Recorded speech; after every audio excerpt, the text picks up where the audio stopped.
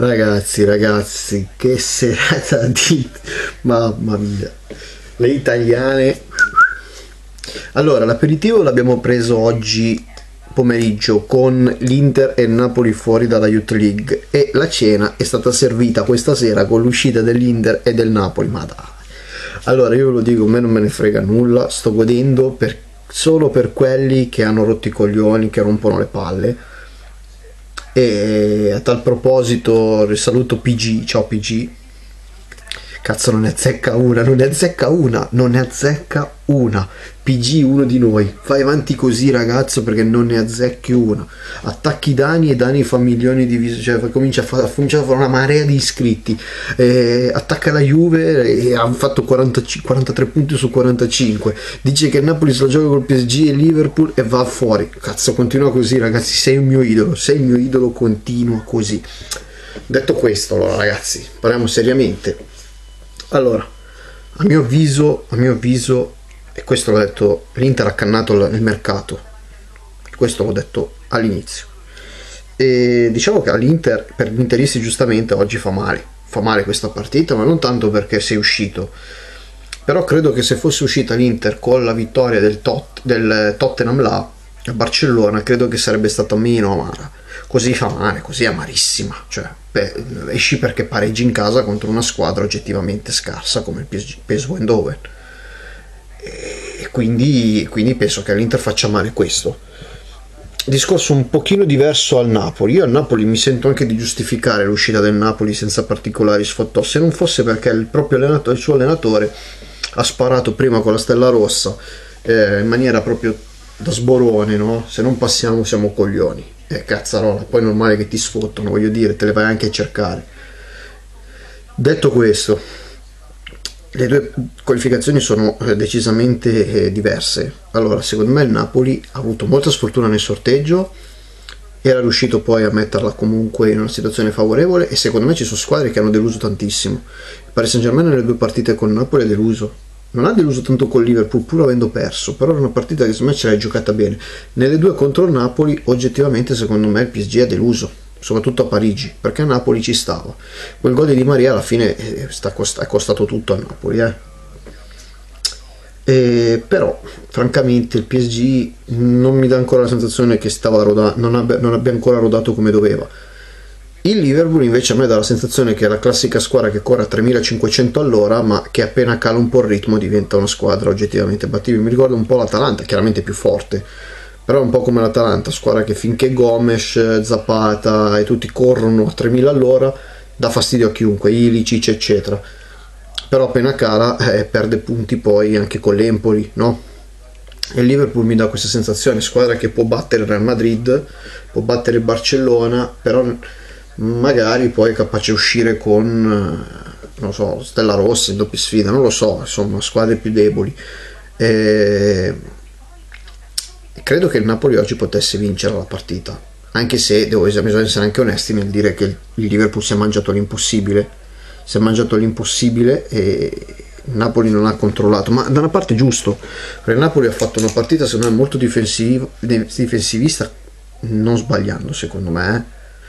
Eh, io non sono un denigratore del contropiede, io sono per l'idea della massima del risultato, bisogna fare il risultato, punto e credo che oggettivamente il Napoli abbia fatto la tattica giusta, aspettare il Liverpool e ripartire, però è arrivato comunque il gol di Salah, Salah è un giocatore di quelli che la, la, la partita te la svolta anche con due metri.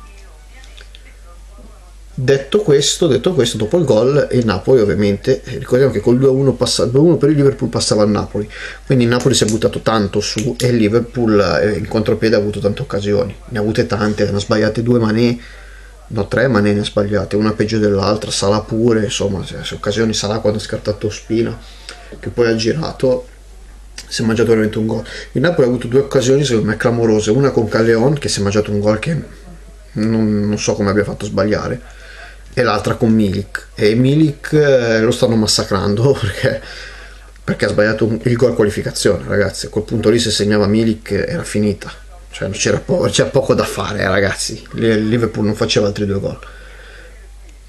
però sono dell'idea che sicuramente sarebbe stata una beffa per il Liverpool eh, però ragazzi nel calcio si sbagliano anche questi gol fa parte del gioco cioè non credo che il Napoli sia uscito solo per il gol di Milik ma credo che sia uscito per il gol di, di Maria come ho detto prima e per non aver vinto a Belgrado io dopo Belgrado rischia di impesare questi due punti e effettivamente poi hanno pesato parliamoci chiaro hanno pesato hanno pesato forse poi più due punti lasciati a Belgrado che quei due lasciati a Parigi. Eh, quindi eh, detto questo, detto questo, Napoli fuori, però adesso a parte lo sfottò che ci sta, eh, soprattutto per Ancelotti per quella frase detta, ma Napoli alla fine esce perché parliamoci chiaro, non puoi far, non fare mai mercato e sperare che ti vada sempre bene.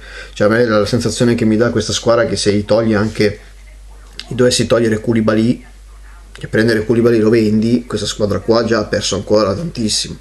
La sensazione è che i tre che c'hai davanti nelle grandi steccano sempre e la cosa che sto notando è che De Rossi con la Roma, faccio un esempio, quando non si sente all'altezza dice mister sto fuori, e mentre invece il capitano del Napoli continua a voler giocare pur non essendo più all'altezza di giocare a certi livelli e il Napoli può fare una buona Europa League però attenzione qua sto sentendo dire vincono vincono vincono. Aspettate c'è, c'è Sarri eh? c'è Sarri col Chelsea c'è l'Arsenal.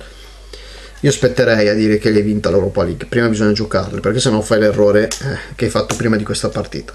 Discorso a parte invece per l'Inter. l'Inter invece credo che sia veramente una roba una roba cioè io capisco i tifosi dell'Inter che sono incazzati perché cioè pareggi in casa con questo PSV che francamente è a livello dello Young Boys eh. una partita da dentro fuori e... e poi ho notato una cosa. Guardate, guardatevi bene. Vi lascio questo spunto. Gol dell'Inter. I cardi per esultare vanno tutti ad abbracciarlo per il gol dell'1-1 eh? gol dell'1-1 gol del Tottenham. Il gol dell'1-1 che segnano due minuti dalla fine 3 minuti dalla fine 5 minuti non lo so prendono la palla, de- non vanno neanche esultare, prendono la palla e tornano a centrocampo. La differenza delle due cose. Ho avuto quasi l'impressione che sull'1-1 l'Inter ha smesso di giocare sicura che il Tottenham non riuscisse più a pareggiarla. Questa è un'impressione che ho avuto. Detto questo, l'Inter ha fatto degli errori secondo me madornali. Il primo, non riscattare Cancelo e trovarsi con Versalico, D'Ambrosio e Asamoah che in tre non fanno desciglio. Cioè, per rendere l'idea questo secondo me è un errore grosso come una casa perché avevi due giocatori, Rafinha e Cancelo, che solo riscattando quelli te li già abbastanza salvato il mercato. Ha preso Politano che ha fatto un, un, primo tempo male, ma poi ha fatto un gran secondo tempo, ma è un giocatore secondo me che alla fine è arrivato in sordina ed è quello forse più azzeccato. Ha preso De Vrij che a mio avviso quando l'ho detto allora, allora eh, mi sono preso, ma adesso pian piano la gente si rende conto che Vrij non è così forte come si, come si pensava, eh, che sono so, soldi di ingaggio buttati, quando francamente a mio avviso Miranda è ancora superiore. E poi l'errore principe, principe di tutto il mercato dell'Inter sono due. La scambio Nengolan-Zaniolo, quello credo che sarà una, una roba che pagheranno per anni, pagheranno per anni perché Zagnolo è destinato a diventare il titolare della nazionale italiana e, e Nengolan invece va giù, ormai va, direi quasi a fine carriera. Ma soprattutto non aver venduto Perisic, Cazzarola, dopo il mondiale che ha fatto, la prima cosa che doveva fare l'Inter rientrato dalla Russia, rientrato dalla Russia era venderlo, perché quel giocatore lì ha raggiunto l'apice. E ne stavano facendo un altro, ragazzi, guarda che se prendevano Modric, Modric con questo Inter qua avrebbe fallito perché non sono Ronaldo che a 33 anni c'è ancora, a 36 anni ha l'energia di uno di 20. Sono giocatori che, soprattutto i, seri, slavi, no? quella, i balcanici, sono giocatori molto lunatici. Cioè l'idea che ho io è comunque che cioè o trovi Mandzukic che è, è, un altro tipo di giocatore ma i giocatori di classe guardate Pjanic quante partite fa bene e quante partite ogni tanto canna completamente e quando le canna le canna totalmente perché? Che sono giocatori così discontinui. Discontinui. L'Inter avrebbe dovuto prendere Perisic e cederlo perché era il momento più alto della quotazione. Un po' lo stesso errore che fece dopo la finale di, di Champions vinta, quando invece di dar via mezza squadra che aveva probabilmente raggiunto l'apice della carriera e della, del, della, delle potenzialità, ha preferito tenere tutti per amore e questo amore li ha portati poi ad avere delle difficoltà non solo in campo ma anche economiche.